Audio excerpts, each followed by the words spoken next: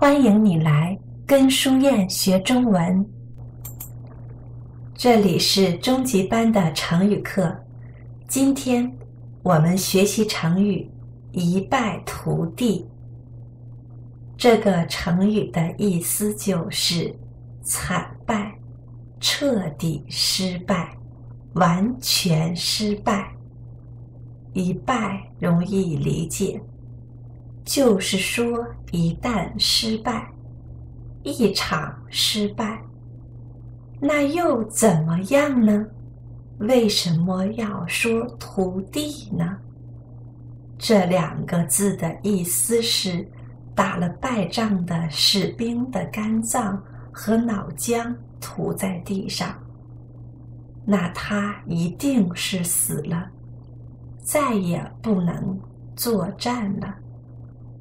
听上去很可怕，是吧？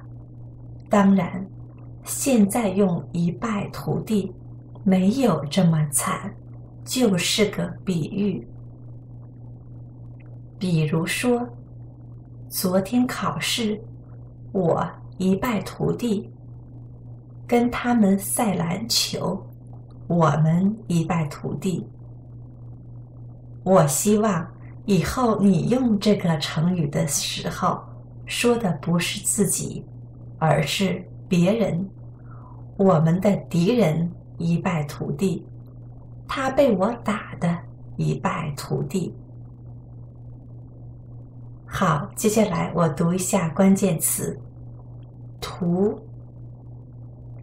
惨败、彻底。完全，士兵，肝脏，脑浆，比喻。好，接下来我再用正常语速把这个成语讲一下：一败涂地。这个成语的意思就是惨败、彻底失败、完全失败。一败容易理解，就是说一旦失败，一场失败，那又怎么样呢？为什么要说涂地呢？这两个字的意思是打了败仗的士兵的肝脏和脑浆涂在地上，那他一定是死了，再也不能作战了。听上去很可怕，是吧？当然。现在用一败涂地没有这么惨，就是个比喻。比如说，昨天考试我一败涂地，跟他们赛篮球，我们一败涂地。